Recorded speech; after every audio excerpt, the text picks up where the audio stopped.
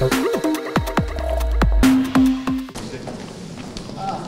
deň, prajem, pán prezident. Dobrý deň. Ďakujem veľmi pekne, že ste nás prichýlili. Do valentínskej kvapky krvi, ktorá odštartovala v prezidentskom paláci, sa ako darca chcel zapojiť aj prezident Slovenskej republiky Andrej Kiska. Znemožnila mu to však vlanejšia operácia. Operácia nejaká nebola? Bola. Čo to bol Petrový kruček? Ja som tam dal dátum. Hej, hej.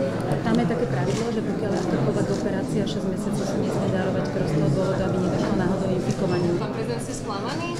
Tak som, no 12 dní, tak je mi to ľúto, vôbec, vôbec som to nevedel, že to takto vyjde. Tak pôjdem za 12 dní, pôjdem za 12 dní, tak uh, určite tú krv darujem. Takže Prezident vyzval ľudí, aby prišli darovať krv. V rámci valentínskej kvapky krvi tak urobili aj členovia jeho čestnej stráže. Ocenil tiež tisíce tých, ktorí tak pravidelne robia. všimol som si, že od roku 2007 ten počet ľudí, ktorí daruje krv, sa pomaly zdvojnásobil.